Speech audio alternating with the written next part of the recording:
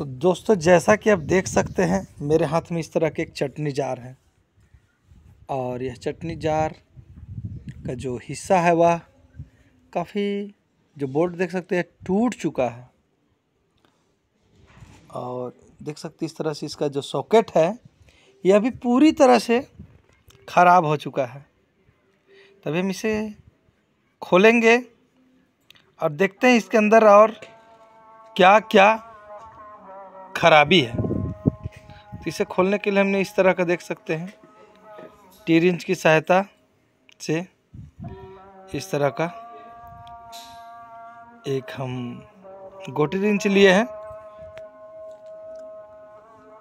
और इस तरह इधर से भी हम सलाई रिंच ले लिए हैं। क्योंकि यह खुल नहीं रहा है। काफ़ी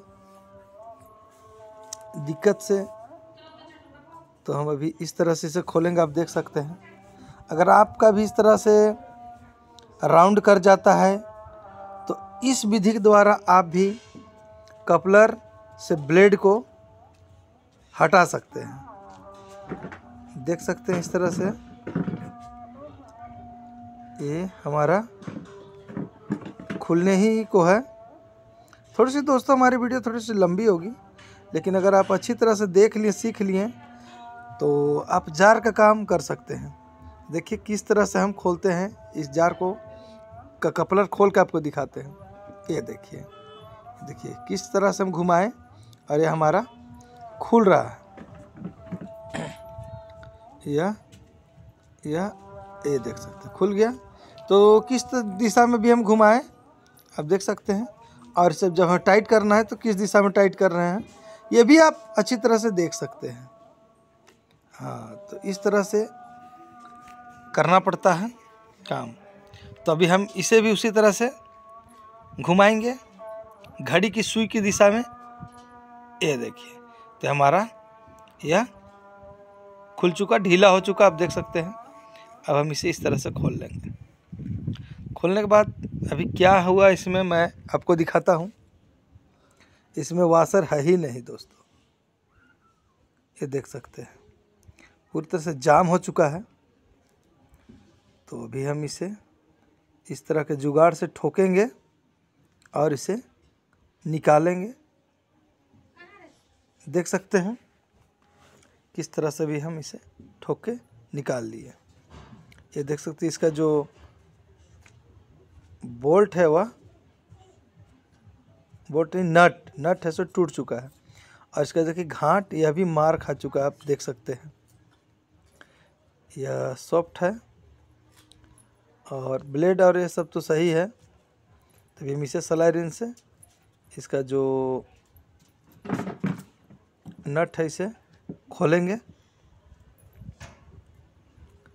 या या थोड़ा सा टाइट हो जाता है, लेकिन हम इसे आराम से खोलेंगे। तो इस तरह से खुल गया देख सकते हैं। और इस तरह काम करने के लिए आप थोड़ा सा कपड़े का प्रयोग करेंगे, नहीं तो हाथ आपका जख्मी हो सकता है। तब हम उसे साइड कर देते हैं। देख सकते हैं, यह पूरी तरह से मार भी खा चुका है। इसके घाट ख़त्म हो चुका है तो हमें दूसरा सॉकेट बदलना ही पड़ेगा। तभी हमारा यह काम सक्सेस होगा। देख सकते हैं। इस तरह से। यह किसी कीमत में नहीं लगेगा यह पूरी तरह से स्लिप कर रहा है, देख सकते हैं। अब तो बोल्ट जो इसका जो नट है तो टूट ही गया है। तो इसे हम नहीं डालेंगे। हम कुछ नया डालेंगे। तो इस तरह का देख सकते हैं। हमारे पास इस तरह का नया सॉकेट है। तो अभी इसे हम खोलते हैं फटाफट। देख सकते हैं किस तरह से वाशर है। प्लास्टिक वाशर, स्टील के वाशर और ये जो नट जो है वह पीतल का होते हैं दोस्तों। तब हम इसे फिट करेंगे फटाफट इस चटनी जार के डब्बे पे। तो देखिए कैसे भी हम फिट करते हैं। इसे हम हटा देंगे, क्योंकि पुराना हो चुका है, और यहाँ अभी हम फिट करेंगे। तो इसे फिट करने के लिए तो जो मार्क आ गया था, उसे हम हटा देंगे, और यह नया वाला जो सॉफ्ट है, इसे डालेंगे। समान साइज़ का है दोनों। सबसे पहले हम ब्लेड को कस लेते हैं, इस तरह के नट से। पूरी तरह से कसेंगे एकदम टाइट से कसेंगे ताकि ग्राहक से हमें शिकायत का सामना करना ना पड़े। पूरी तरह से टाइट करेंगे।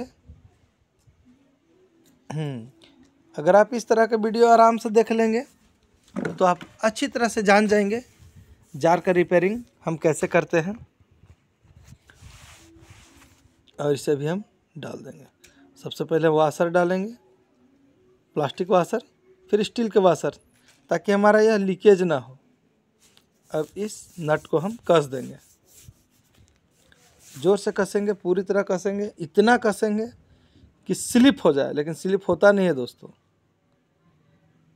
यह जो नट का ही खूबी है तो इस तरह का रिंच ले लिए हैं, देख सकते हैं। और ये हमारा कसा रहा है। और कसने के बाद अभी इसमें हम जो हमारा रेती, गोल रेती होता है, उसे घाट को ठीक करेंगे। इस तरह का काम अभी हम आपको करके दिखा रहे हैं। और आप हमारे चैनल पे नए हैं दोस्तों तो फटाफट चैनल को सब्सक्राइब करें, लाइक करें। और दोस्तों, यारों पे शेयर करें। अब हम इस तरह के ब्लेड को डालेंगे। इस तरह डाल रहे तो देख सकते हैं जाम जा रहा है। इसे भी हम गोल रेती की सहायता से थोड़ा सा इसे हम फ्रेश करेंगे।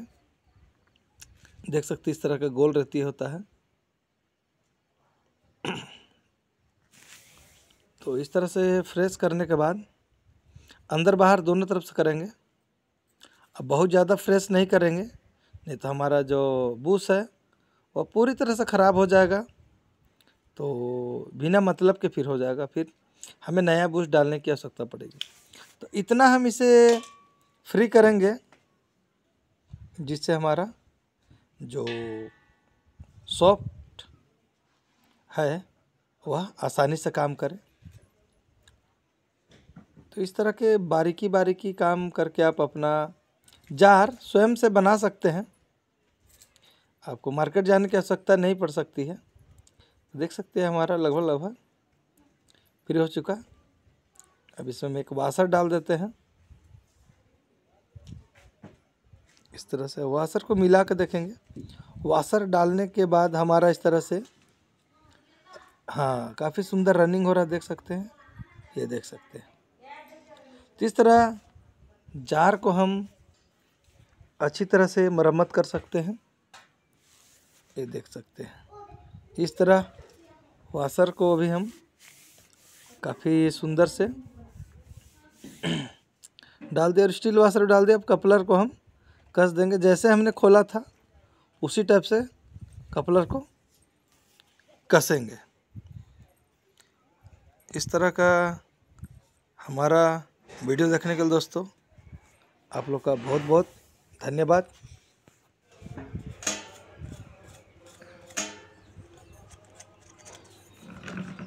काफ़ी सुंदर वर्क कर रहा है। लाइक करें शेयर करें सब्सक्राइब करें।